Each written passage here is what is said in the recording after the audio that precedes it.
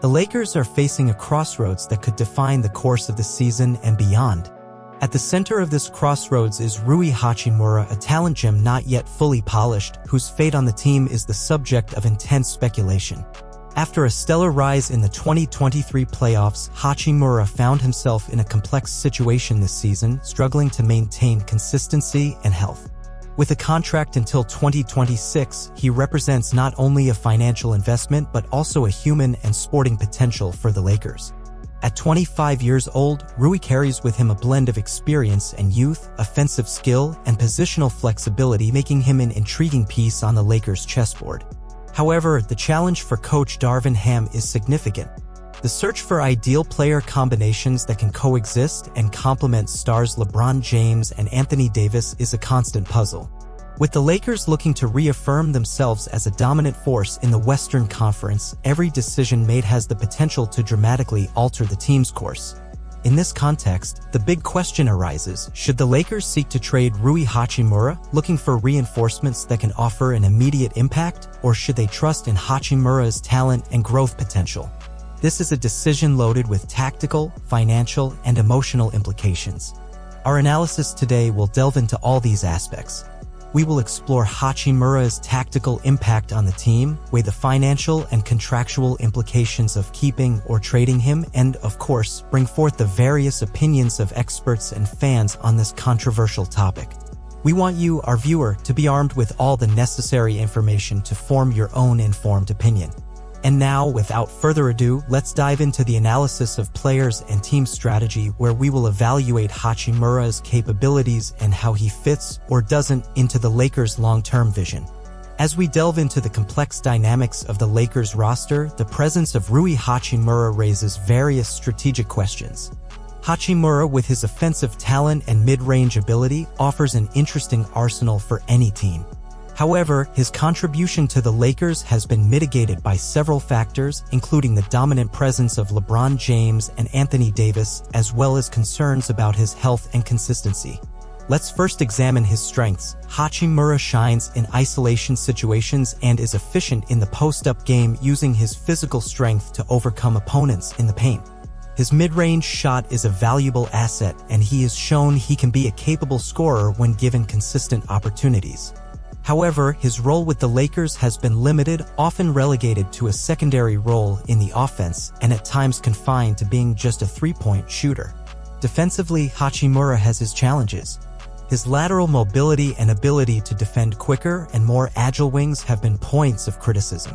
With the Lakers often facing teams with fast and skilled wings, Hachimura's defensive limitation becomes a vulnerability point. So, how does this fit into the Lakers' strategy?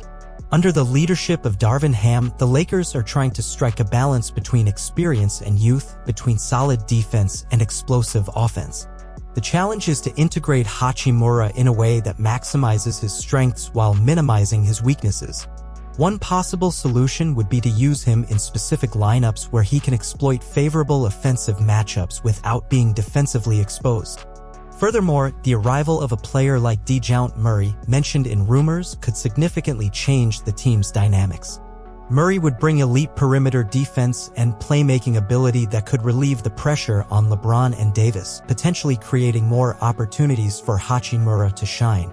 Initially, Lakers trade rumors suggested that D'Angelo Russell would be involved in a deal for Dejounte Murray, but Russell's recent improvement on the court has ruled out that possibility. His significant growth and enhanced synergy with the team have shifted the focus of rumors towards Rui Hachimura. Now, Hachimura emerges as a potential trade asset, reflecting an internal shift in the Lakers' dynamics. This shift in the focus of rumors highlights Russell's success in asserting his role and raises questions about how to optimize Hachimura's talent. With Russell's rise, Hachimura's role becomes more uncertain despite his potential after training with LeBron James.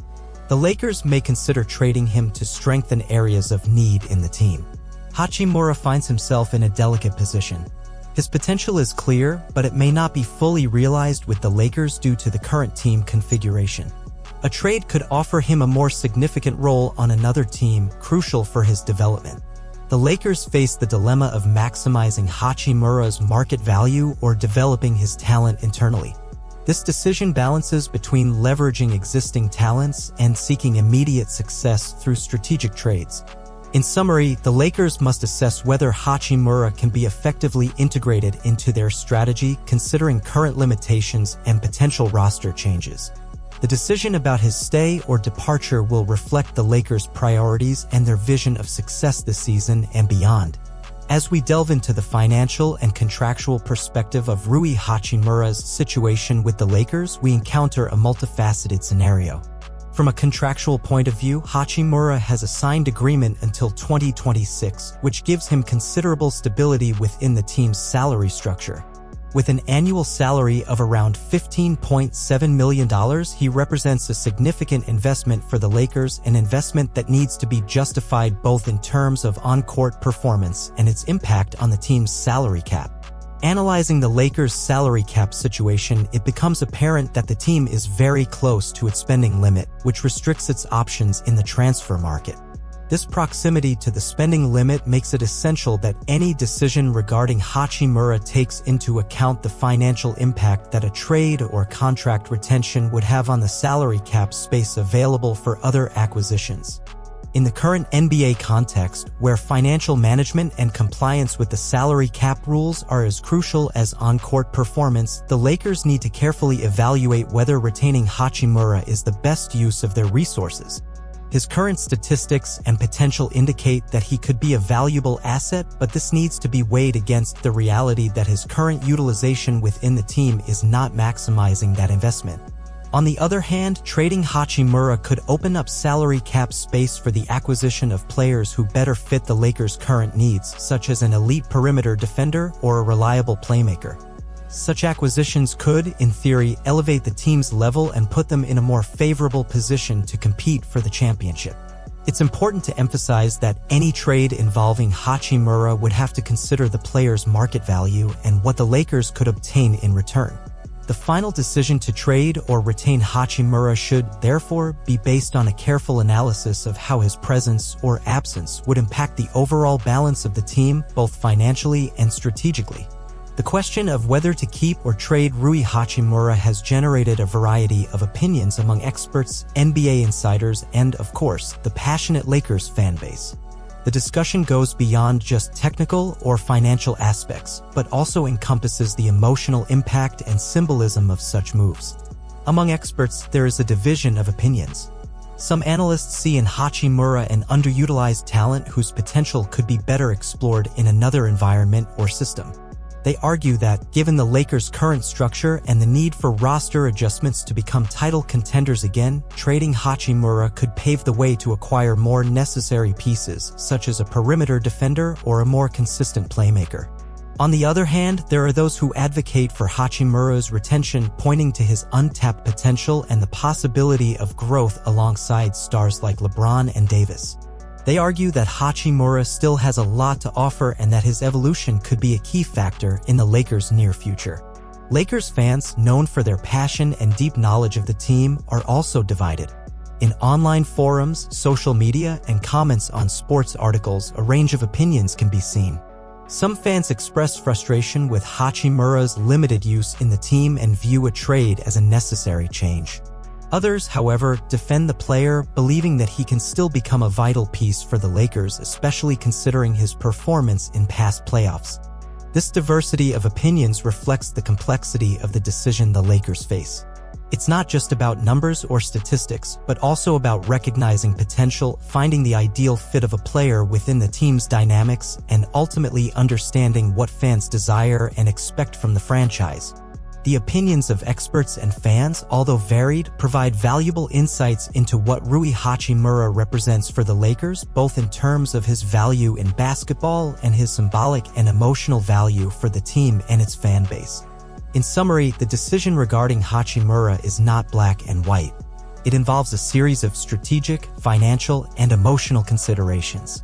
On one hand, Hachimura offers offensive talent, growth potential, and a youthful presence in the roster. On the other hand, issues of fitting into the game system, defensive limitations, and the weight of his contract within the Lakers' salary cap present significant challenges. Now, the ball is in the Lakers' court. The direction they choose will say a lot about their ambitions and strategies for the season and beyond. And you, the viewer, have a crucial role in this discussion. Your voice, your opinion matters. So we invite you to share your thoughts in the comments. Do you think the Lakers should keep Hachimura and bet on his potential? Or would it be better to pursue a trade that could bring in pieces better suited to the team's current needs?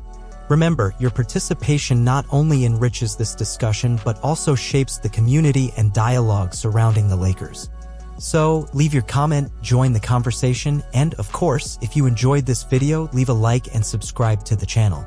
Turn on notifications so you don't miss any of our future content full of in-depth analysis and passionate discussions about everything related to the Los Angeles Lakers. Thank you for watching and participating. Until next time.